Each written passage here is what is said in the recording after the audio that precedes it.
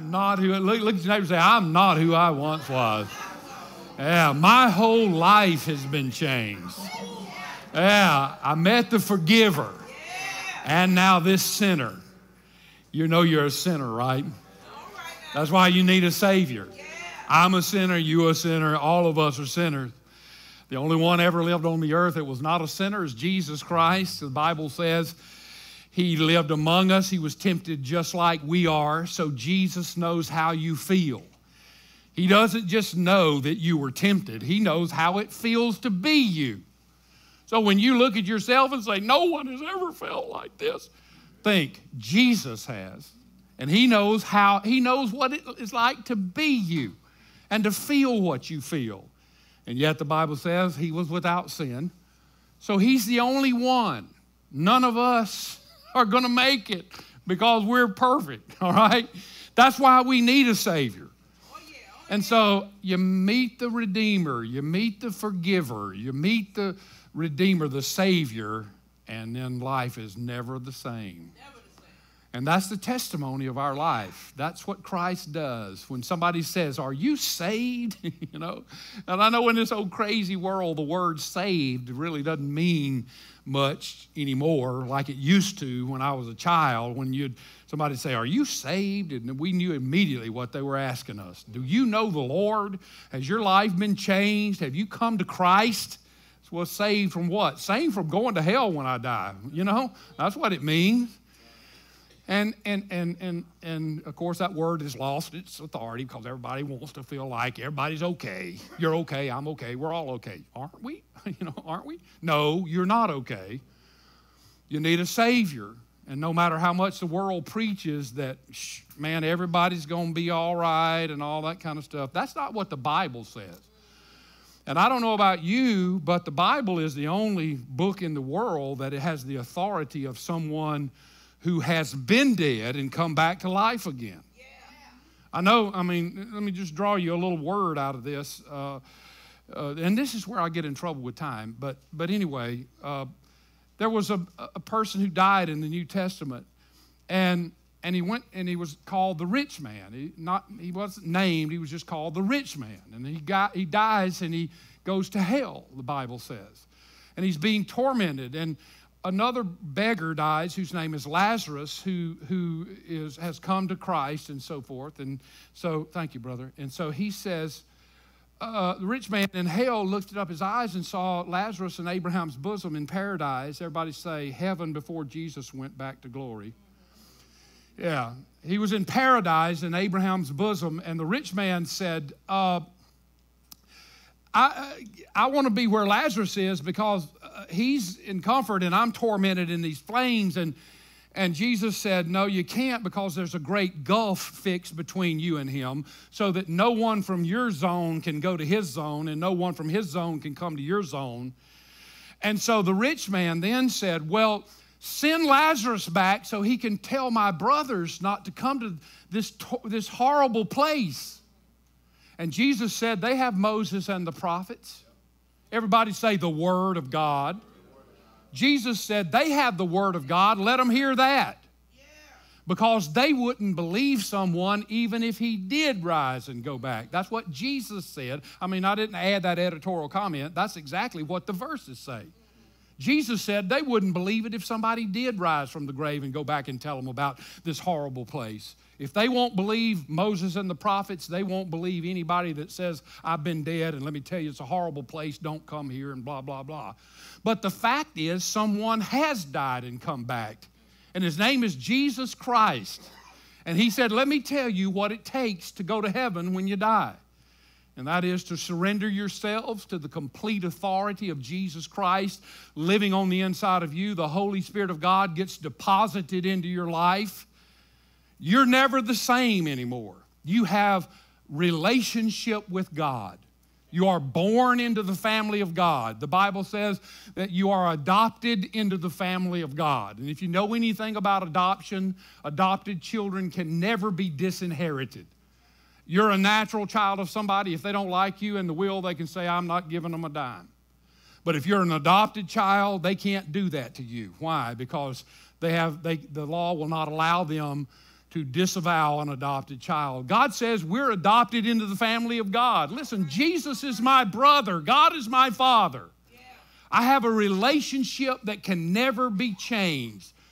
Now, my fellowship, on the other hand, might be a little altered.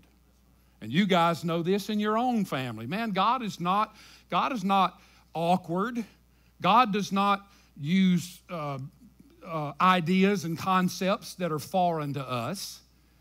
The same thing is true in the family of God that's true in your family. If you have a child, I don't care if the child becomes an axe murderer, he's still your child. If he, if he spends his time in San Quentin or Sing Sing or what used to be Alcatraz or whatever, it doesn't matter. He's still your child. Now, you may not have him at home for Christmas dinner or Thanksgiving meal because he doesn't obey, he doesn't act right. You don't want him around. So your fellowship is separated, but your relationship is solid. We have relationship with God because of Jesus Christ who saves our soul, and we agree with that and say, Yes, Jesus, come into my life and change me forever. I've met the forgiver, and now, uh, now this sinner will never be the same. But my fellowship may be stressed and strained, and I may be far from God, and the Holy Spirit keeps convicting me and convicting me. Come on back. You know, you're not right. That's not what people say. They, you know, and God keeps drawing you and wooing you and drawing you and wooing you and drawing you and wooing you until one day you go so far that He says, Oh, come on home, man. If I can't correct you down there, I'll just have to get you up here and correct you just like you do at the grocery store when your child won't behave. When your child won't behave at the grocery store, you can't, you, you pop their little legs or something, you know, you say, get that, well, they keep on acting horsey about things. What do you do? You go just put your groceries back on the shelf. No, you push your cart over there for everybody else put your groceries back up. And then you and then you go out the door and you say, When I get you home, I'm going to take care of you.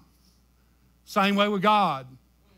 You that one acting wild in a shopping cart?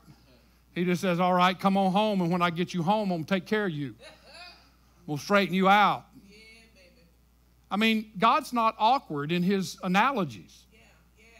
He's, he, he, he says, You know, I, don't think you're more rational than I am. You know, I mean, he created us, guys. But anyway, I hope that fits into anything else I have to say today. I believe it will because you'll see the church at Sardis is a unique situation going on. We, we're in our fifth letter, the five. We're, we're in the section called uh, Things That Are. You know, in Revelation, there the things which you have seen, which is chapter one, is Jesus and his glory and manifested. We went through that. Chapters two and three are things that are. And, and, and basically, the Lord is saying, let me tell you how things are.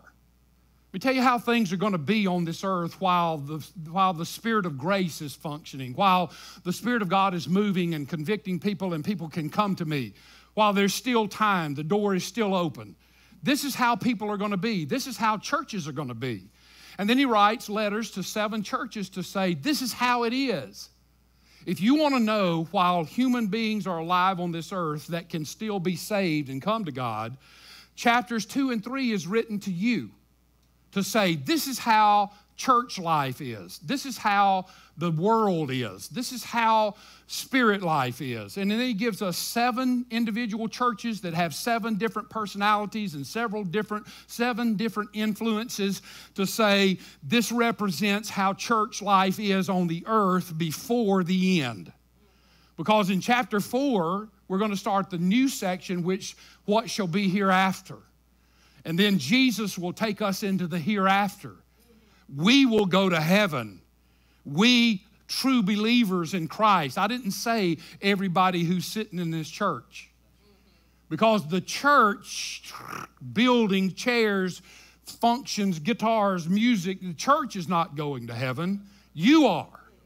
You are the church. This is just the place where we meet.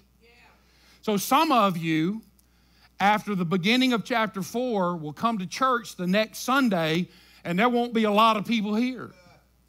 But you'll be on the door and you'll be going rattling and going, Why isn't the church open? And then, and then, and then the Antichrist will explain something to you, and you'll go, Well, that makes sense to me. I mean, blooming Russians might have do it. I mean, they're doing everything else nowadays. I mean, the Russians got them, you know.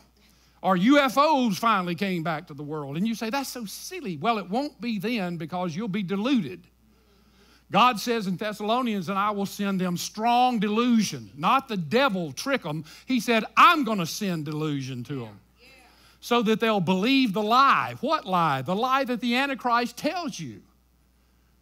And you'll just go merrily down the way, just like a lamb to slaughter. Oh, yeah, so uh, I get that makes sense to me. That's wonderful. You know, I never thought about it that way. Oh, my goodness, yes. Yeah. I mean, every great person, every friendly person, every warm person, every person I thought belonged to Christ is gone. But hey, man, you know how tricky those Russians can be. And you'll merrily go down the trail. I'm just telling you that chapters two and three are about how things are. And you better pay attention to how things are because this is, this is where we live in right now. We are living in this.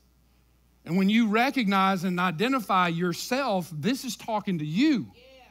And it's telling you, you, hey, wake up. Pay attention to this. This is eternity. This is vital. This is what's going to happen to you and your children and your grandchildren and everybody else that lives on this earth. Because there's coming a day when Jesus is going to come back. That's chapter 4, verse 1. Read it sometime. Chapter 4, verse 1, John says, I was in the Spirit on the Lord's day, and I heard a voice that said, Come up here, and I'll show you great and mighty things which shall be hereafter. He calls the church, John is representative of the whole church, the true church of Jesus Christ.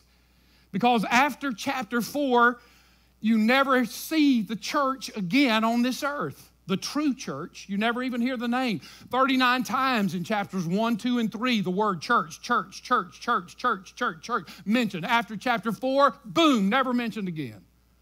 Why? It's not here. There's no church to talk to because the real church is gone home. Oh, now there will be a bunch of denominations and there will be a bunch of churches, doors open some of them won't even realize anything's happened because they hadn't been with the Holy Spirit from the beginning. They're filled with people that are lost and don't know the Lord, and they're practicing their ceremonies and their rituals and their and their flow of service and their robes and their gowns and their and their choirs and their tapestry and majesty and blah blah blah and just lost, never even recognize it. They'll be business as usual for that bunch. But the true church, the real church, the believers will be gone yeah. to meet the Lord. So it's vital the relationship in chapters two and three between the real church and the unreal church is vital for you to see.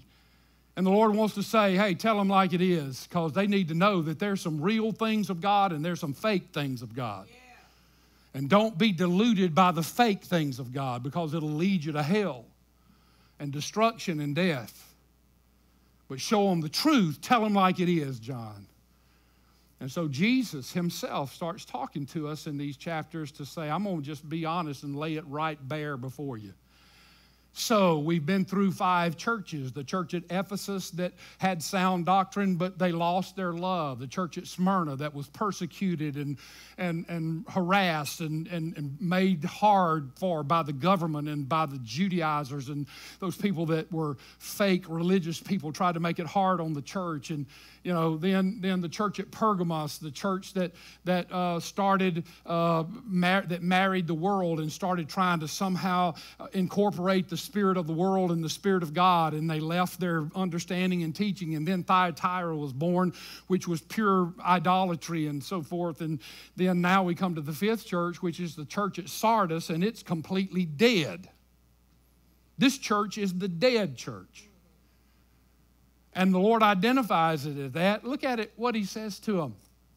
And to the angel, everybody say the pastor, the spiritual leader. That's what the angel is, the angel of the church. Believe it or not, I'm your angel. You got cheated, is all I'm saying. Don't I look like an angel? I'm the angel to this church. I'm, I'm the messenger. I'm God's voice. I'm the one through which the Holy Spirit is to speak. I'm the one that God has ordained. I didn't want to be it. Uh, it, it, I mean, it would be more comfortable for me if it was somebody else. That's right. That's, that's, you see this head glows. This is the anointing you're seeing. I don't, some of these guys that are watching, they may say, he is so full of himself. Um, I hope they can see, you know, that kind of uh, sarcastic look on my face or that kind of uh, look on my face that says, I'm kidding, okay? I'll guarantee you somebody will believe that I really mean that. But, but the point is, um, I, that's what I am. I am responsible to tell you the truth. It's my responsibility to say, here's what God says to you. Not, not me. This is not my time to get up here and spout politics or sports or drama or movies or whatever. My responsibility is to take the Word of God and to rightly divide it so you can hear from the Holy Spirit. That's what my job is. And I know some of you say, well, I don't really need to hear that. And I'm just going to say to you, the more you think you don't need it, the more you probably do.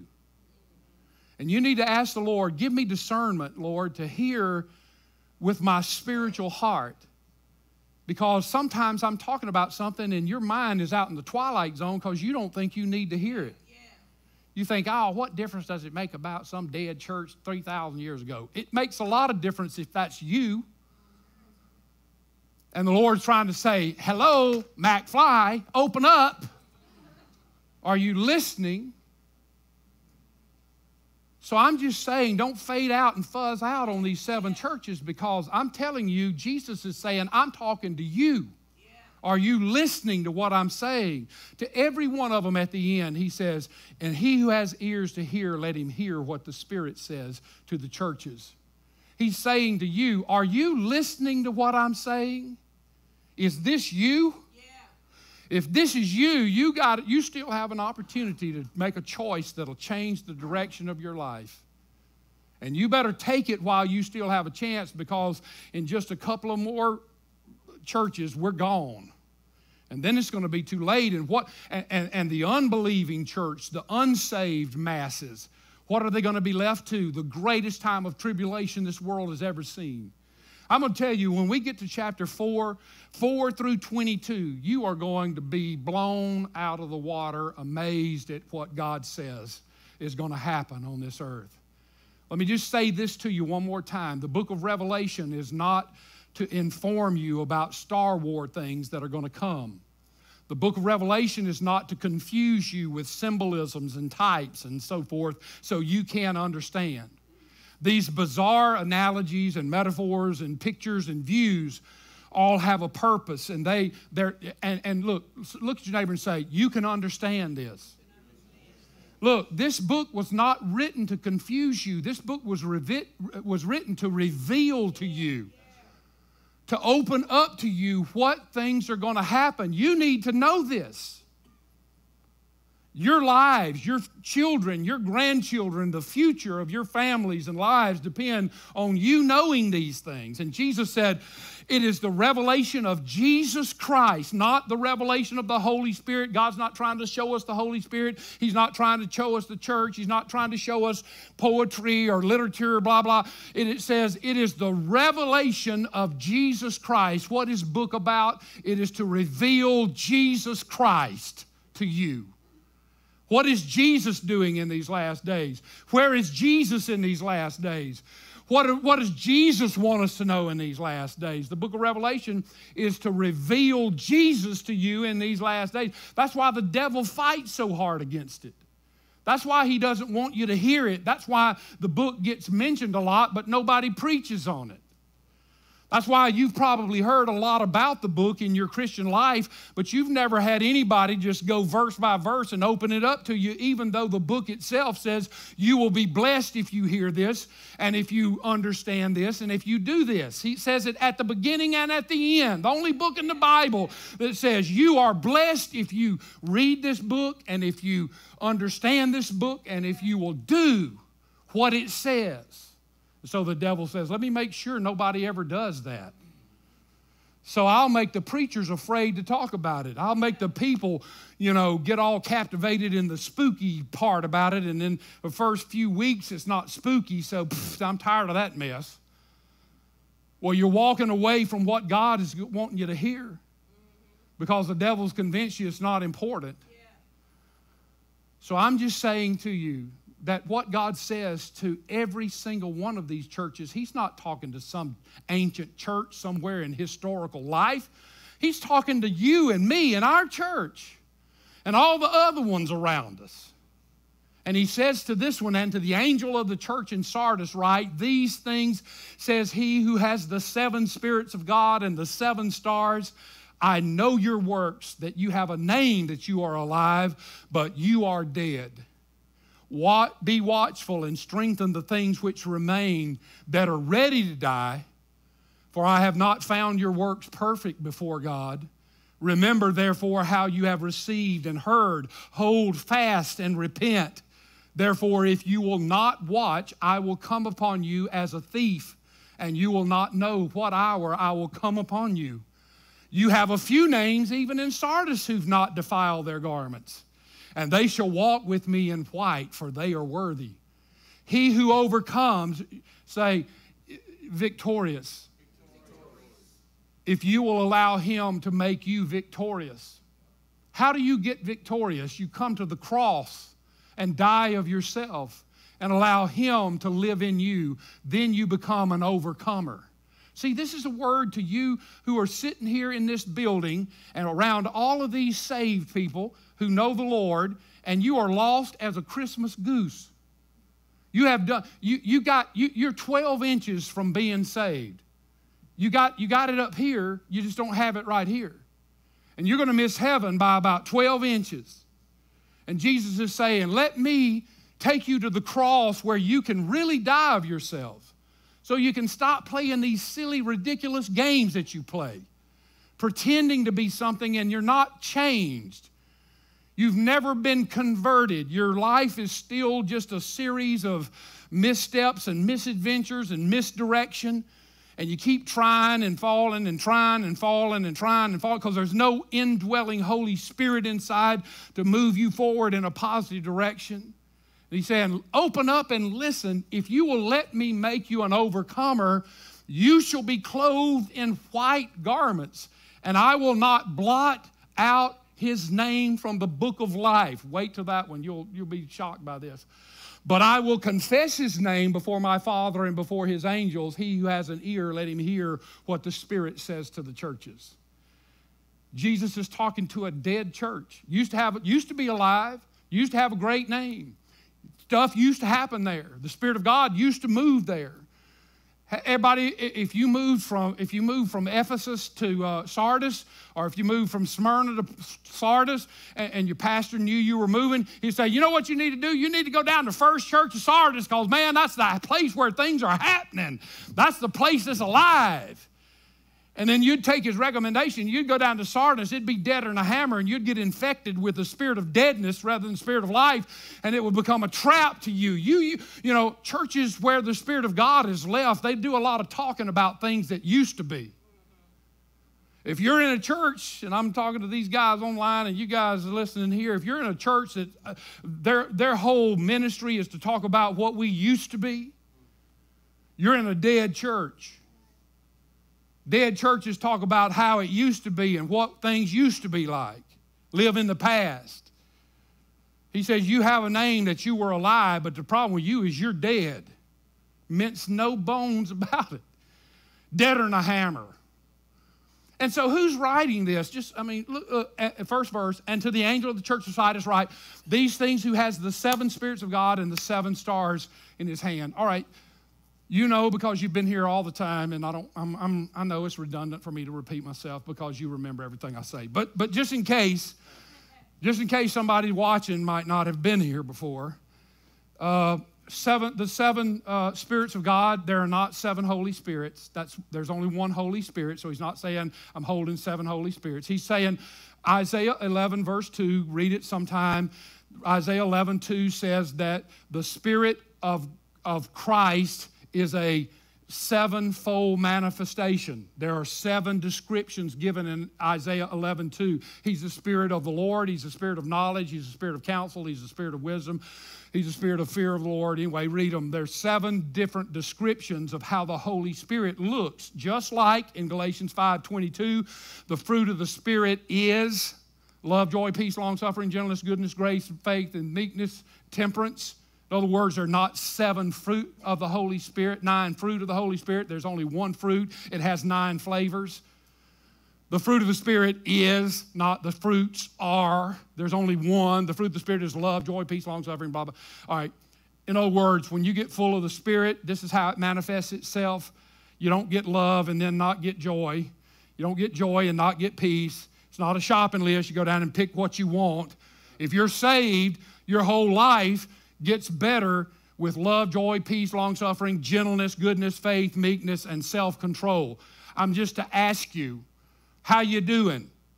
Since you've come to the Christ, are you any more loving than you used to be? Is your life any more joyful? Do you have any more peace? Is there any more gentleness, goodness, greatness? Do you self control? Is it better than it was? Well, if it isn't, then that means there's no Holy Spirit dwelling there.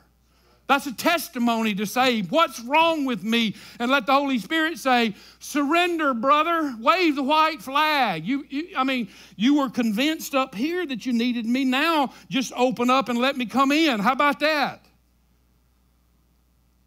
I mean, this is the word seven spirits of God. That means, and the word and, and the number seven, and I don't want to make, get too mystical, but you're going to see seven throughout the whole book of Revelation. Seven just means complete. It means full, it means perfect. God created everything on the earth, and on the seventh day, He rested. Everything was done, perfect, complete. So when you see the number seven, basically He's saying, I hold in my hand the complete work and power of the Holy Spirit. That's what He's saying. And He said, I got seven. I got the seven uh, stars, which the stars are the pastors or the angel. I've always wanted to be a star. You know, we have movie stars and athletic stars and, and, and uh, drama stars and movie and, and, and musical stars and all that kind of stuff. But the real stars of God are his angels, his ministers. And he said, I got my I got the complete ministry through the leadership in my in one hand, and I got the Holy Spirit in another hand. And he said, The reason you are dead, what does that have to do with a dead church? Well, it has everything to do with a dead church because here's the truth. God said the only way that your church will come alive is if you allow the Holy Spirit of God, the complete Spirit of God, to move through the complete ministry of the leadership of your church to guide that church under the direction of the Holy Spirit and lead them in the direction Christ wants them to move. Your church can't be led by a denomination, by a hierarchy, by bishops, by elders, by deacons, by committees, by boards, by structure. If it is, you're a dead man. The only way God chooses to lead His church is the power of His Holy Spirit to empower the man of God to lead the church in the direction of God and the Spirit of God. Amen. Now, I didn't, I mean, I didn't make up that plan. That's not my plan. But that's what he's saying there. He's saying, the one talking to you has the fullness of the Holy Spirit and the men of God, and they got to be together, or you're you going to be dead? I'm asked quite often, and some of the guys watching online, and maybe even some of you guys that are sitting here, think to yourself, man, I'm in a dead church. Maybe, maybe this is not your church home. Maybe you're visiting from somewhere else or you're watching online from somewhere else. You're saying to yourself, that dead dry hole I go to every Sunday is just ridiculous. That might be why some of you are sitting, you know, there in your bathrobe watching right now. Because you don't want to go to that dead dry hole. I don't blame you. It's dead, deader than a hammer. And here's what you're thinking you're thinking, should I stay here or should I go to another church? And I'm just giving my best counsel, all right? I'm not trying to be mean, and I'm, I'm not accusatory of any church anywhere. But I'm just saying to you that what you're thinking is, you are thinking, well, maybe I can get on fire, right? You're thinking that. Okay, maybe maybe I can become a live coal off the altar of God. Maybe me and my family can get fired up about Jesus and we can help this church get fired up about Jesus. So I don't need to leave it because I might be the only chance it has to, for a coal off of the altar of God to start burning again. Now, I wish that that would be possible. But I'm going to tell you, I've been in the ministry for 43 years and I've never seen that happen. Ever. I've never seen a person from the congregation lead a church to become alive again. The only way that church will ever come alive again is if an anointed man or woman of God walks in with the authority of God and the full of the Spirit of God and is allowed to lead that church in God's direction which ain't going to happen in about 99.9999 of them because they're going to get run off before they can ever even do anything. Because some board or some elder or some constitution or some crowd rules the place and they'll never even be given an opportunity. So, what am I saying to you? I'm saying you need to get yourself and your family, and you need to ask God to lead you somewhere where there's an anointed ministry under the Holy Spirit of God before you have the same testimony Sardis has. You used to be alive, but now you're dead. And so, Jesus, it's Jesus talking to this church. And what does he say? What does he say is wrong with it? He says, Well, uh, let me do what's right first, because it's just a verse here. You, you have a, look, look, look, doesn't it sound like the Lord is really almost amazed himself? I mean, you have a few names even at Sardis. It's like the Lord said, oh my goodness, there are a few names even at Sardis. So the Lord is surprised almost that there are a few names even at Sardis, which is an indictment. I, I mean, I, look, you know what our battle here at Freedom River is? Our battle here at Freedom River is that the Lord wouldn't look at us one day and say, uh, there are a few of you who are still alive, uh, but most of you are dead. That's an indictment from the Lord against the church because there are always a few that are alive. I, you know, in whatever dead church you're in, there's going to be a few there are going to be a few like-minded people like you that are going uh, you know maybe we could make a difference let's get together let's pray let's and you think that's going to matter but mm-mm, mm-mm, comes from the top down not the bottom up and, and, and it's God's anointing and God's authority, and He works through a pattern and an organization, and that's the way He says it is. But there are a few names, even at Sardis, that have not been wrote. So, our challenge is not for the Lord to look at us one day and say, you know, even at Freedom River Church, there are a few that are not dead. Our challenge is for the Lord to look at us and say, man, with a church that lively and led by the Spirit of God, I'm amazed that anybody's dead at that church. That's what we want to hear from the Lord. And so he says there are a few names that are still hanging on, that are not dead, and, and have not defiled their garments. Garments are symbolic, analogous to our character and our life. The Bible, and I wrote it in your notes, gave you several references, look it up.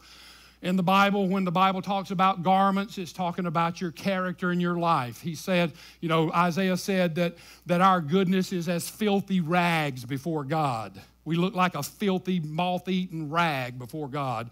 When we're as good as we can possibly be without Jesus changing our life, we look like a nasty, eat up, cankered up old rag before God. That's how good we can be.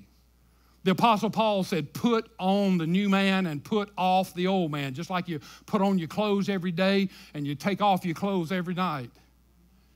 Garments are always a picture of your character in your life. What is he saying? He said there are a few people there who, who whose character has not been uh, uh, cankered and, and, and defiled. And notice how you stay pure, and they shall walk with, everybody say, with me. The way you get pure is to walk in Him. It is not, you cannot do it on your own. You cannot make yourself good. You are not pure and clean and, and white charactered and white spirited because you're a good person, because you act good, because you've been educated and trained. You are made this way by the Spirit of God. So the good things are, man, hey, even though you're a dead bunch of people, uh, you seem, you know, there are a few people there. And, and so what's wrong with them? And to the angel of the church right, right uh, he who has the seven spirits of God, seven stars, here it is. I know your works, that you have a name, that you are alive, but you are dead. There are two things wrong with this church. Number one, it's a dead church. In other words, the Spirit of God used to be there, but it's not there anymore. Do you believe that the Spirit of God can depart from a place? Well, let me just give you an example, and uh, hang with me. Uh, in the Old Testament, the Old Testament, there are many examples. There are many wor- There are many pictures. I, everything that happened in the Bible happened in the Bible, just like God said it did. They're not just pictures that somebody made up and said, let me tell you a story that might sound good and illustrate something in the New Testament.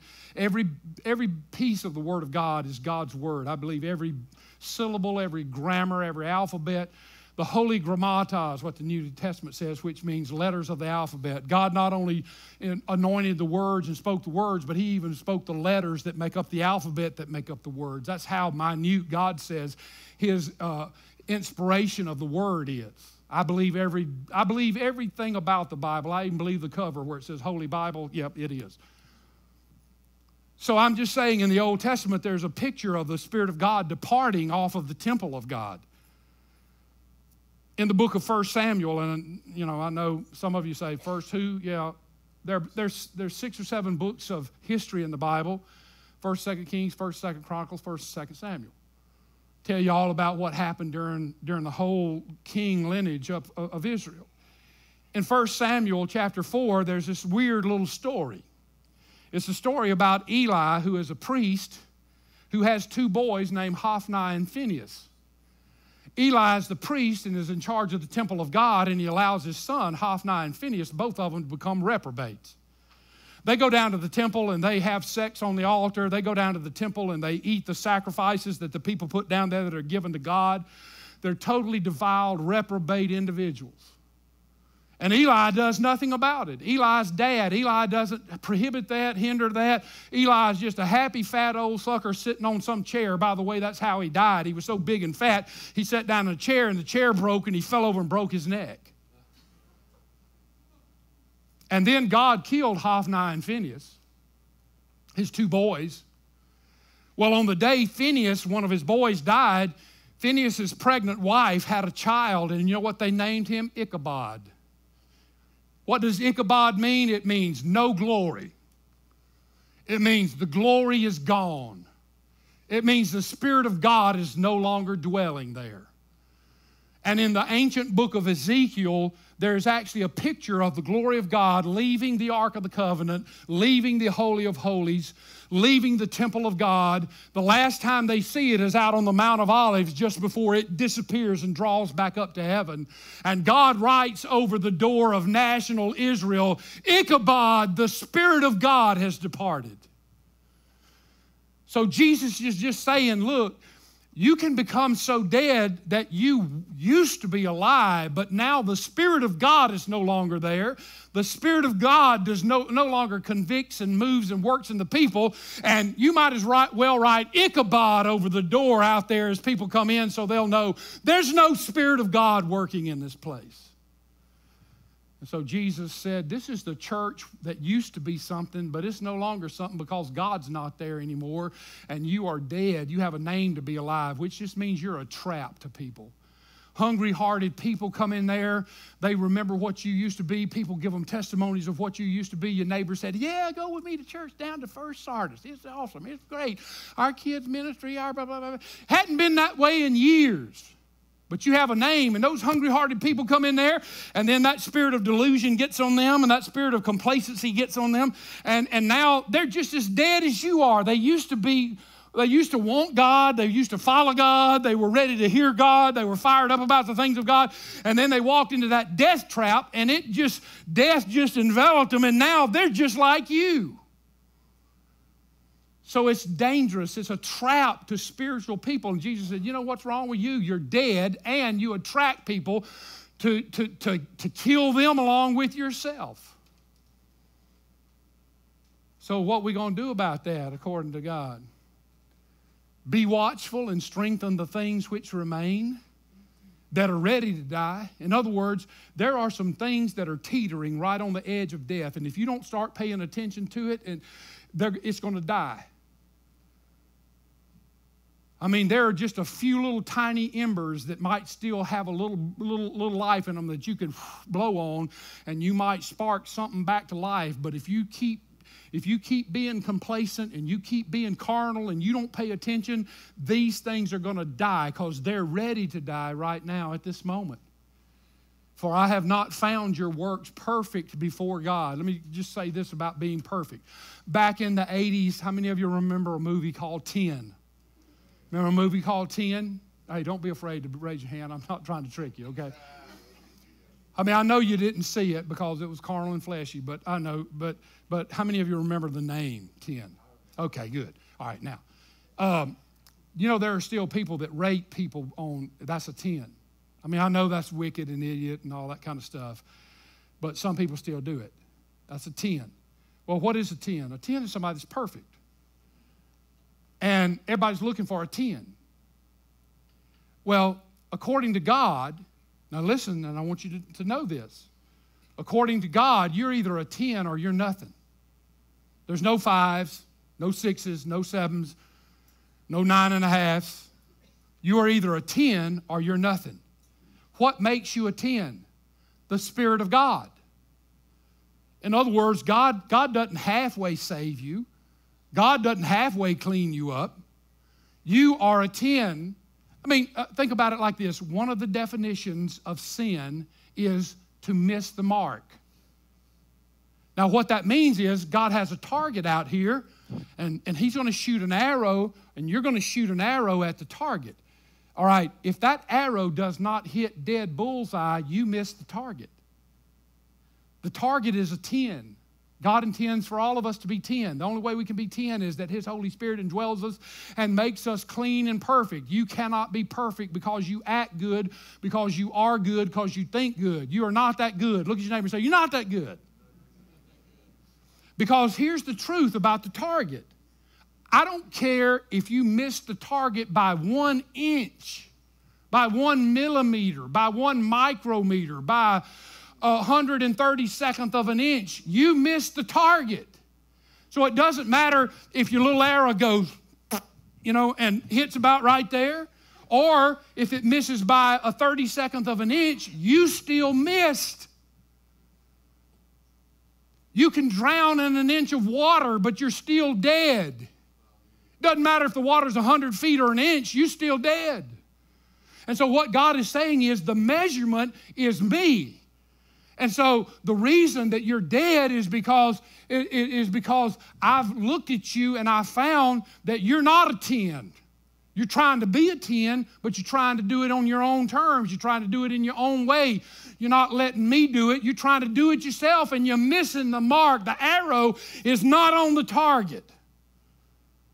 So he says, Well, what are we going to do to fix this? Well, he said, Be watchful, pay attention, and, and, strengthen the things which remain. There are some things, and so pay attention to what's going on and, and, and pray and see and, and lift and exalt the things that are, that are there. For, for I've not found your, work, uh, uh, uh your works perfect before God. Remember, therefore, how you have received and heard. In other words, Look at what used to be and think about what used to be and how you used to be on fire for God and you used to know God and you used to want God and you used to be excited about the things of God and you prayed and you read the Word of God and you talked to other spiritual people and you hung around them and you came to Bible study and you came to prayer meeting and you did everything you could. Think about that and start doing that again. Repent. Turn around from your ways that are leading you away from God. Look, I can't do this for you. I can't make you want God. I can't make you disciplined enough to find and search and seek. I'm just a voice crying in the wilderness. You better listen to God. This is serious stuff. This is what he's saying here. You better watch this. Be watchful and, and, and, and remember what you received and heard and hold fast and repent Therefore, if you will not watch, I'll come on you as a thief, and you not know, know what hour I come. That, that's not talking about the, the rapture of the church. The rapture of the church is in Thessalonians, where Jesus says, no, I think it's in Matthew where the actual term, maybe in Thessalonians too, but the rapture is described as uh, the Lord speaking, come up here and, and the dead in Christ start rising, all their bones and bodies and cremations and, and, and, and shark eating them and blown up on a mountaintop and, you know, whatever they might have be, God collects the molecules of their, of their existence and brings them back. And then we which are alive on the earth, we, when they get where we are, then we all go up together and we meet the Lord in the clouds. That's what Thessalonians says, and so shall we ever be with the Lord. And, um, and, and, and so that's the rapture.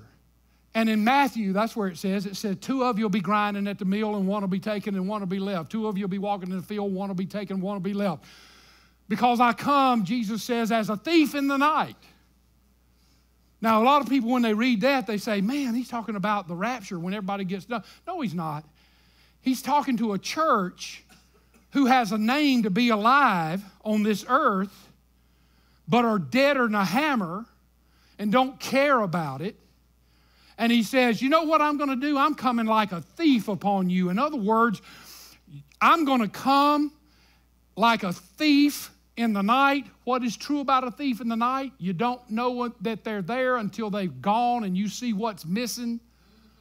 So Jesus said, I'm going to come on you and I'm going to take something away from you something that belongs, the difference between heaven's thief and the earthly thief is heaven's thief only takes what belongs to him. An earthly thief steals what doesn't belong to him. Heaven's thief takes what does belong to him. What belongs to him? His Holy Spirit belongs to him. His anointing belongs to him. His power belongs to him. So he said, Look, if you don't pay attention and change what's going on there, like a thief, I'm going to come and I'm going to remove my spirit and I'm going to take my spirit away, and you're going to be deader than a hammer, and nothing will ever happen there anymore. Nothing true, nothing spiritual. And you say, Is that right? Well, let me just tell you this Asia Minor, which is now present day Turkey, used to be the hotbed for spiritual activity. All of these churches are in Asia Minor the Apostle Paul's ministry was in Asia Minor. Timothy pastored in Asia Minor. The beginning of the church basically was in Asia Minor. Everybody that got saved, the Philippian jailer was in Asia Minor. All these stories out of the Bible where God shook prisons and worked miracles and did all kind of majestic, wild, crazy things, it was in Asia Minor. The Spirit of God in Turkey was running wild, and the Spirit was saving people, and people falling on their face, and miracles and all of that. That's what happened. The Holy Spirit's hotbed was on Asia Minor, but now it is one of the most closed places to the gospel in the entire world. What happened?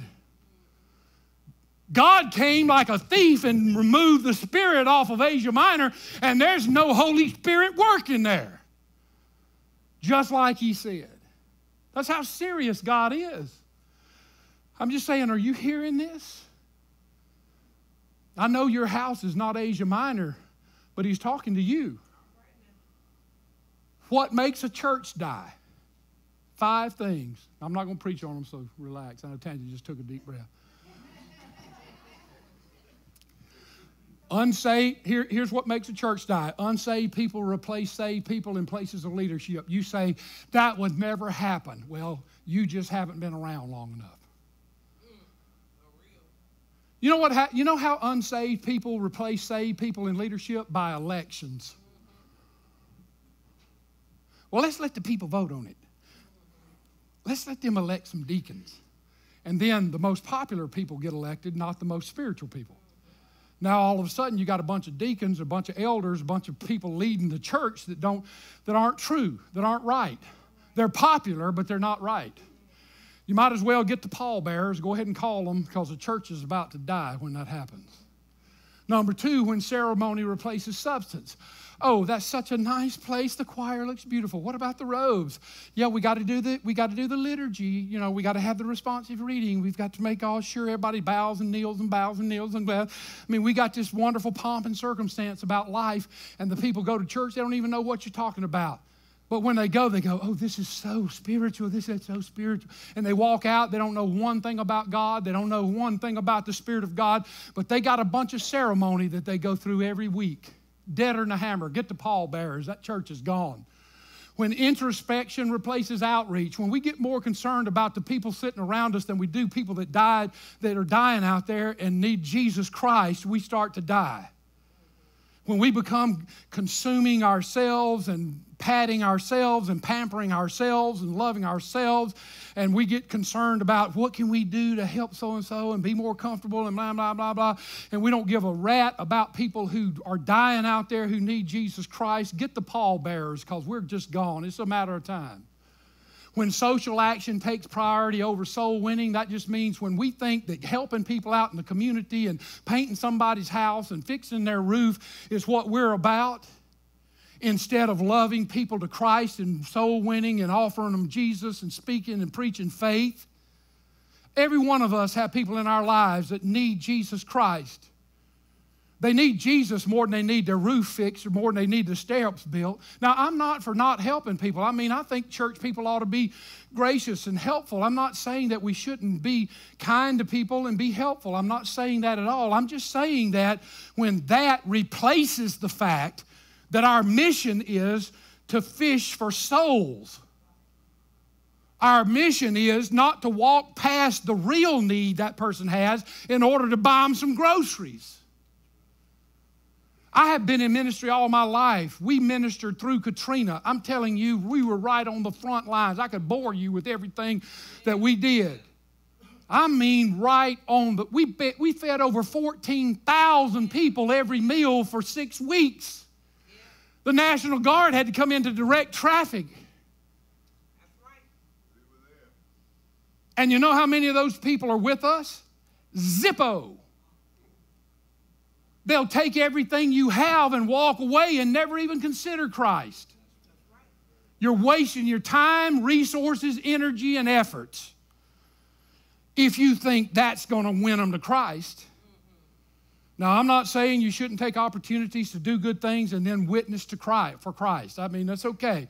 I'm not saying we shouldn't care about people. I'm just saying if you think that's what our mission is, get the pallbearers. Because that leads to a dead bunch. Look at your friends. Pray that God would give you an opportunity, an opening to talk about faith in Christ. Bring them to church. Let the Spirit of God have a chance to speak to them. If not, in a little while, we'll be dead. Because that's what God honors. That's our mission. That's what we're about, guys. And errant theology replaces Bible theology. What I think, what Dr. Bottlestopper, Professor Whistlebritches, or whatever it might be. Whatever he has to say to put doubt about the Word of God. There is no denomination, no group of people on earth who are dead right now whose first uh, stabbing of, of taking life to death didn't happen by some professors and teachers that started teaching that the Bible is not really the Word of God. If, this, if, if our Bible is not the Word of God, we have no authority. If, every, if there's one word in it that's wrong, it's all wrong.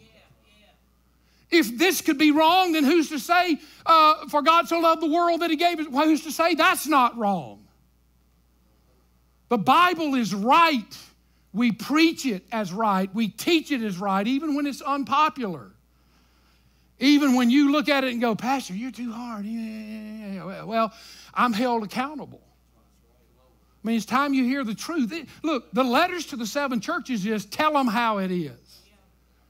And I'm just trying to be faithful to, to my over shepherd, Jesus Christ, who said these things, not me, to tell you the truth to take off the kid gloves, quit feeding you applesauce.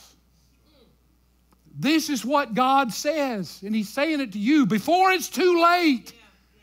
Pay attention to the things that are just about dead. You just got to up one more chance, man. Come on, come alive. And then he promises this to you if you will let him. He who overcomes shall be clothed in white garments, which just means you know, Isaiah said, Our goodness is as filthy rags before God. Uh, Paul told us to put off the old man and put on the new man. Uh, uh, Jude talked about our garments being spotted with the flesh. In other words, this verse now says, All right, if you'll let me make you an overcomer, you can take off those old filthy, ragged things and be clothed with perfection. He said, I'm going to give you some white to walk in. I'm going to, you're going to, your character is going to be pure and undefiled. Let's take that old filthiness off of you and we'll give you a brand new suit to wear. We'll give you a brand new life to put on. You say, man, I don't want to be the way I used to be. Well, you'll never learn enough. You'll never grow enough. You'll never train enough. You'll never study enough to be any different than you are. It takes the Spirit of God being birthed in you so that you can take off those filthy rags of your own goodness and put on white garment that's clean before God. And God said, if you'll let me, I'll knock those rags off of you and put on some white garments, and I'll not blot your name out of the book of life. This is going to blow your mind because, whew, Pastor, you need to get in shape. You do? I'm sorry, I'm, I know I'm yelling, but I'm not really mad at you. I mean, you know this, right? I love you people. But I mean, I'm just, I don't know. But anyway, passionate, fired up. All right, now this is going to blow your mind because everybody in here, your theology about this book of life is shaped by songs that people write, not by the Word of God. Write my name in the book of life, you know. So you think your name gets written in the book of life when you come to Christ. No, no. Read the Bible. I put the references in your notes for you so you can read them. The Old Testament and the New Testament both talk about this book of life in all those passages I put down. In every single one of those passages, your name is already in the book of life. You must be blotted out to not be there. Uh oh. You mean my na- when I come to Christ, He doesn't write my name in the book of life? No, I don't care what that gospel quartet sang about. That's not theology. That's goofy. That's, that's what happens to us. We believe that kind of mess instead of God, and nobody ever tells us that God's word says anything different. Here's what happens, and I don't mean to lay a burden on you, and I don't make, mean to make anybody cry or be uncomfortable, but here's the fact. The fact is, when you are conceived in the womb, I'm not talking about after seven days, 10 days, 14 days. I'm talking about when that egg pop, when that sperm pops that egg and, and, you, and you are conceived, you become a living soul. And you have a name. You say, What's my name? I don't know. To God, you might be honey, sugar pie, sweet cakes. I don't know what your name is to God, but it's something. You know, all of us have nicknames. The people that love us give us a nickname, right? I mean, you might be William Bartholomew Fitzgerald III, but they call you Bubba.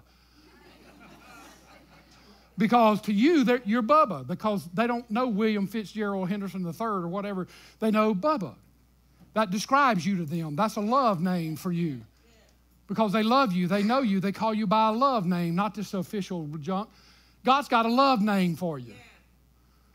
And whenever, and listen to me now, and whenever you're conceived, I don't care if you're miscarried the next day or the next five minutes, or you're aborted, or you die as an infant, or whatever, your name is written in the book of life when you become a living soul. So, comfort to you parents who have miscarried. One of these days, you're going to get to heaven, and there's going to be a full grown ambassador of God that's going to come running to you and say, Mom! Because they don't stay babies. Look, there are no babies in heaven. There's another thing. We let artists and goofy English historians and blah, blah tell us that cherubs are baby angels. Read the Bible. It was cherubs that God put around the throne to keep Adam and Eve, I mean, around the garden to put, keep Adam and Eve out of there. Look at them described. They're monsters, man.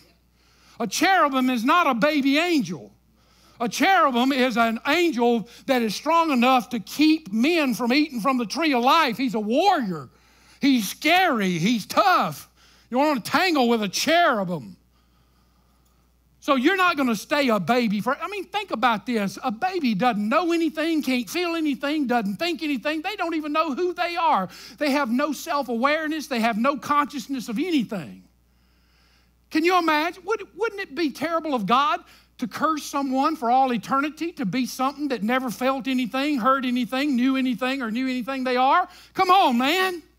When you get to heaven, it's going to be a full grown son or daughter of God that's been reared by Jesus himself God is the father of your, uh, uh, uh of your uh, uh, aborted child or your miscarried child or that little infant that died.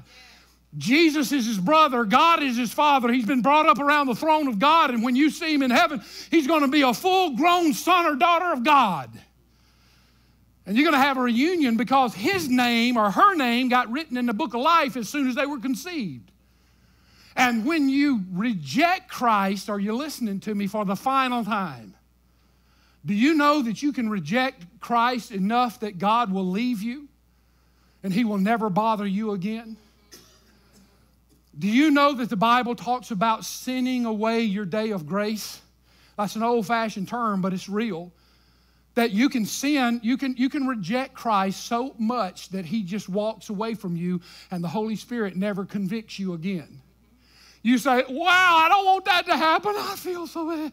Well, if you're feeling that, guess what? You're not too late. You better, you better take advantage of your chance. Because one of these days you'll walk in those church doors back there and everything in here will be just as dead and dry. The Spirit of God, people be passing out in here. The Spirit be so strong, you'll just be sitting there twiddling your thumb saying, When's this going to be over? Because the Spirit of God will not move in you anymore because He has departed. The Bible says the Spirit of God will not always, always strive with man. In other words, one of these days that you could be separated from the conviction of God. So while you have a chance, come on. So, when you come to that final point where you finally reject him for the last time and he's never going to work with you again, here comes the eraser and out goes your name. So you don't get written in, you get blotted out. So the concern is, I don't want to be blotted out. Because he says, if you'll, if you'll come to me, I won't have to blot you out. And then he says, And I'll confess your name before my Father and before his angels. And that's why we have a public invitation. That's why, when just a moment, when I pray and say, Stand and close your eyes and pray this prayer, and if you've come to Christ, here I am, come to me, instead of walking out that door, I'm giving you a chance to say, to publicly confess that Jesus Christ has just changed my life, and I confess that Jesus is my Lord before you, a man so that the Father, before the angel, so that Jesus, in the presence of his Father, can say, Look at, look at John, look at Honey Pie, look at Bubba, look, you know, look at Sweetie. Yeah, there she is. You see, she's confessing before men that she loves you, and I'm confessing before that I died for her and that she's saved. And the father says, All right, there's the name right there. That's beautiful. Let's just close the book up. Come on, we got other work to do. Jesus said, If you'll let me, I'll keep you in. If you'll let me, I'll make you an overcomer. If you'll let me, I'll occupy your life. So, Sardis, even though you used to be alive, you're now dead. Look, nobody wants that testimony. Nobody wants to be a church that, that had a great name but is dead. Nobody wants to be a person that had an opportunity to be real with Christ but end up on the scrap yard and, and going through the tribulation and end up in hell. Nobody wants that. So Jesus is saying to us, do you have your ears on? Yeah. Are you listening to what I say to you today? Because this is the reality of the word. Jesus said, Tell them like it is. Mm-hmm. And this is how it is. Now, listen, a couple of churches from now, we're going to leave this is how it is to this is how it's going to be. And believe me, you want to be ready for how it is because you ain't going to like this is what it's going to be. All right, stand to your feet.